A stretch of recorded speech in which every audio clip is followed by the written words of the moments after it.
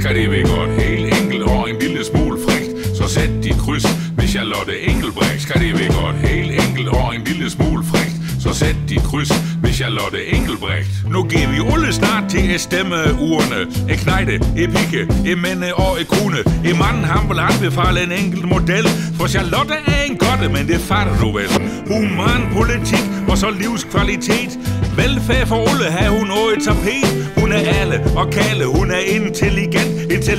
I effekt, så det hele er så nemt. Skal det være godt, helt enkelt og en lille smule frægt. Så sæt dit kryds med Charlotte Engelbrecht. Skal det være godt, helt enkelt og en lille smule frægt. Ja. Charlotte Engelbrecht.